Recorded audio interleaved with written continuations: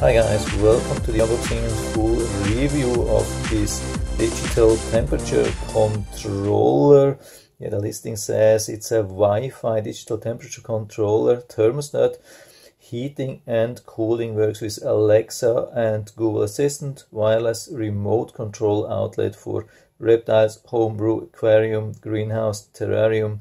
10 amps, uh, which means about 1250 watts. It's listed for around $45 on Amazon currently. Has pretty good reviews, so I thought I'd give it a try.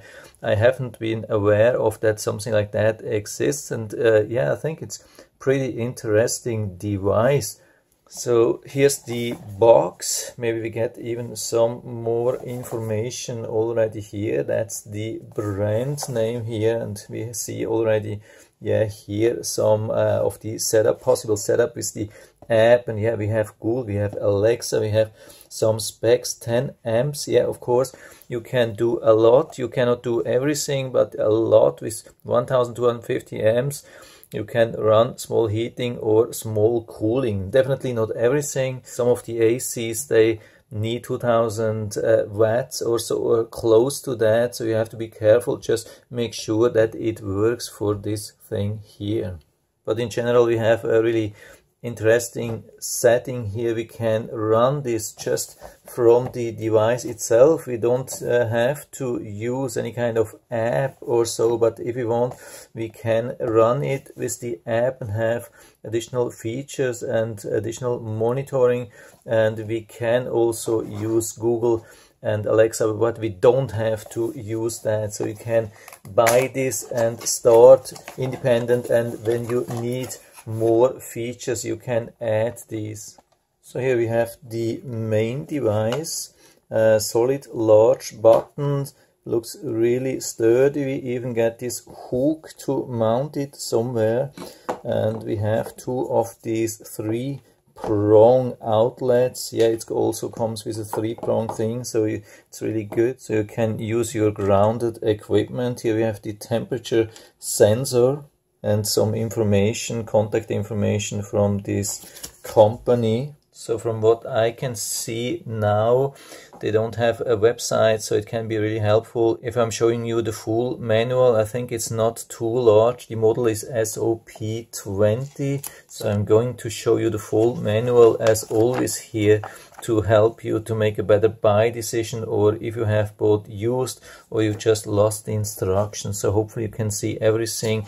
Just go to the highest resolution, which is usually 1080p, then put it on pause on every page. So you should be able to read everything. It's a little bit small printed here, but I think you should be able to see most of it.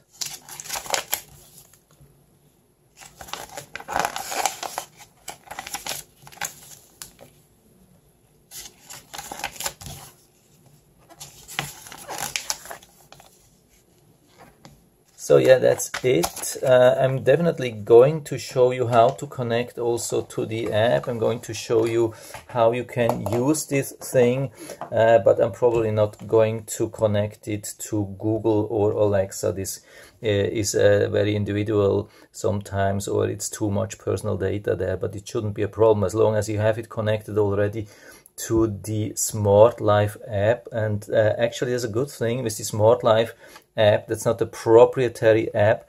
It's an app which is used for a lot of other devices. So I like this, and I have already a lot of equipment there.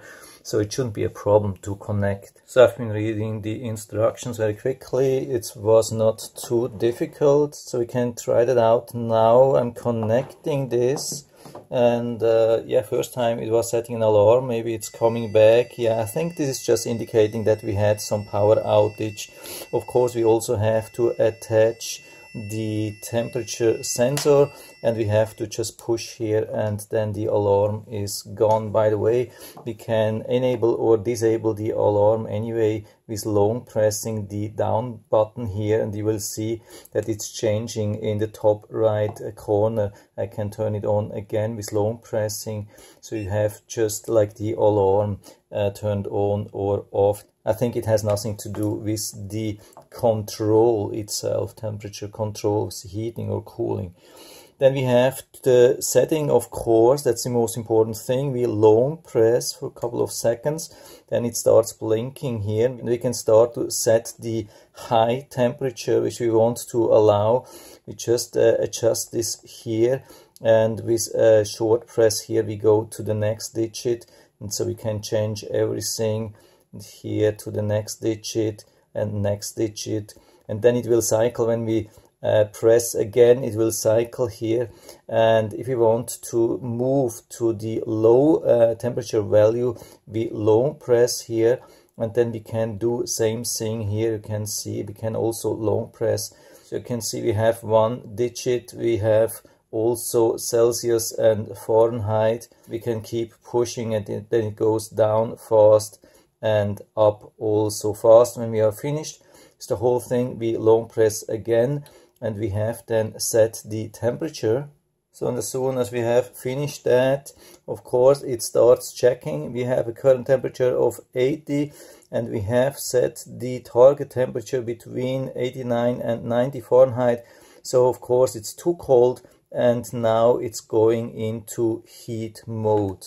By the way, you can see that here, hopefully, yeah, the uh, letters are a little bit small, but you can see the left one here is the cooling outlet and the uh, one on the right side is the heating outlet.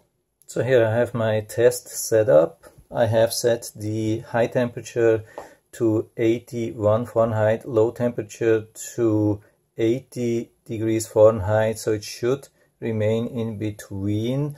By the way, don't just push the button to switch to Celsius and back because it will change the temperature settings a little bit, not much, but because, yeah, there's no perfect conversion from Fahrenheit to Celsius, it will have to adjust like the digits and then uh, adjust them back so it could change a little bit. Just leave it uh, where it is. Don't switch uh, just uh, back and forth. So let's start uh, with this thing. Uh, first what we notice already it is below the low temperature and it's not turning on the heating. And that's something which is somehow described in the instructions.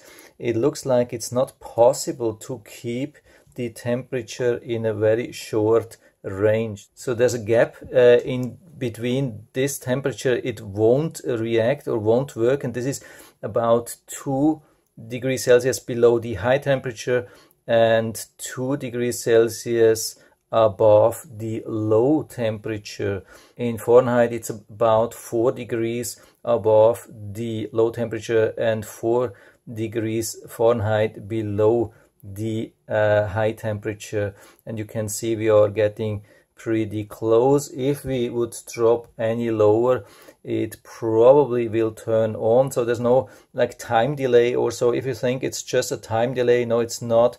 It is described here. Unfortunately it's not very accurate. They describe actually when it's uh, out of this uh, range it should start but it doesn't. It just says it will stop uh, before it reaches this frame or this uh, range here and it looks uh, it's it's also same thing to turn on. When it's in this range which I've been mentioning uh, then it's not doing anything. It must be outside. So there's no way you can really uh, have a really really uh, small range here. It's not working unfortunately.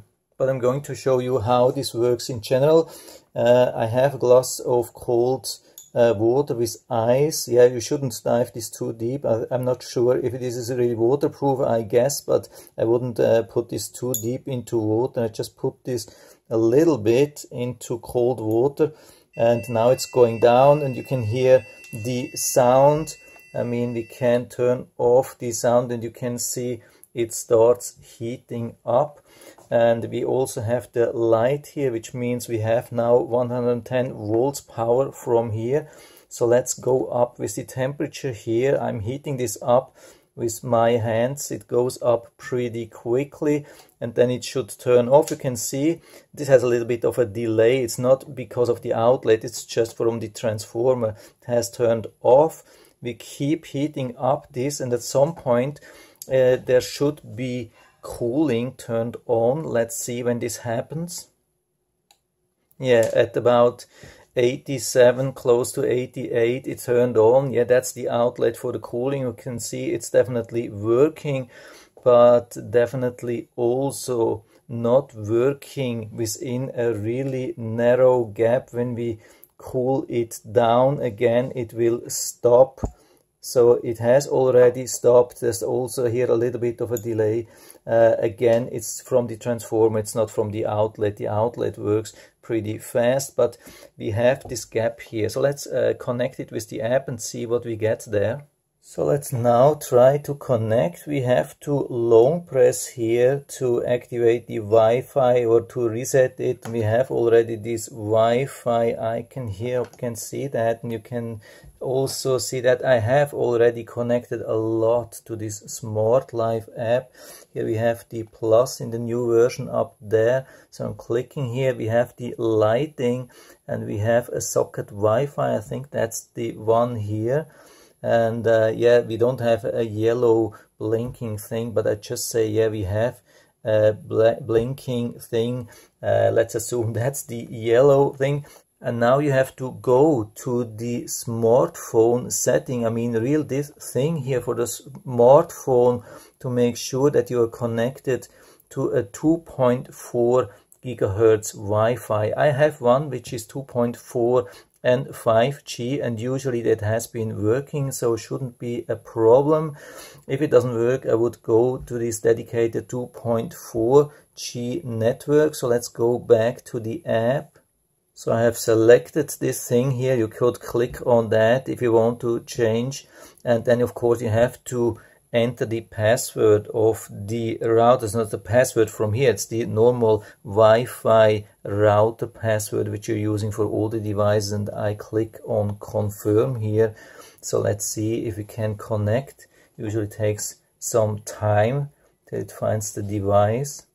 Yeah, it didn't take too long, maybe 10-20 seconds or so. It says, yeah, device added successfully we click on done new device firmware found. Yeah we can also update this if you want that. I'm not doing that now but you can see we have same information as here and we have even more. We get some charts. Of course it's new so we don't have any charts statistics about that but i heard uh, that we get a seven day chart uh, what has happened, probably uh, how many times it's turned on and off, and how the temperature was developing. Yeah, we have even highest and a lowest. And here's some information about uh, controlling by Alexa and Google FAQ, a lot of things here, not going uh, to do that here also some settings cooling delay which is really important thing this is really cool uh, that we can uh, add a cooling delay because this can uh, damage, if we don't have this, it could damage an AC. You shouldn't turn off and turn on an AC within very short time. Sometimes the AC have their protection, but sometimes they don't have it. And if you have this here, that's a really nice thing. If you can turn this on here, I mean, I'm not using that, but you can see you can activate that. And you can also activate the alarms for high and low and uh, do a temperature calibration and uh, other things here. So I'm trying here again for the chart. Maybe now we have something. Yeah, it's still too early, but at least we can see there's uh, now a 24 hour chart, which would probably indicate uh, what's going on what the temperature has been and when it has been activated and when not so and you can pick a date you can go back to other days or so well, unfortunately i don't have anything but you can definitely see that you can control and uh, monitor this thing from here and also from Google and Alexa. I don't really know at the moment what commands you have from Google and Alexa. Usually uh, it's not so much. You can maybe set a temperature, activate, deactivate, those things. But uh, it looks like everything is good, uh, straightforward. The only complaint about this thing here at the moment is that it doesn't work for a very small or narrow uh, temperature setting. So if you can accept maybe a temperature uh, variation of about 10 degrees Fahrenheit uh, or 5 degrees Celsius in total from top to low then this could be the thing for you. And I will put down the link to the Amazon listing down into the description so you can check it out or drive from there if you like it. And I hope I've been able to help you a little bit with this video. If you have any questions or comments, just write to the comment section below and I'm always happy to talk about these things. And if you like the video, give me a thumbs up, subscribe to the channel, thanks for watching and see you next time.